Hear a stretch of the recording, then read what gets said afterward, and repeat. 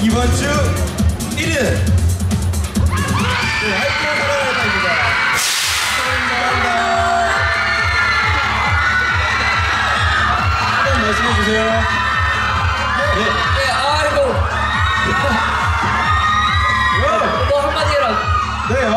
네. 수상소감 한번 해보고 싶었어요. 네. 어, 너무나 감사드리고요. 네, 진짜 적토와 같이 끝을 모르고 나아가는 아이콘이 되겠습니다.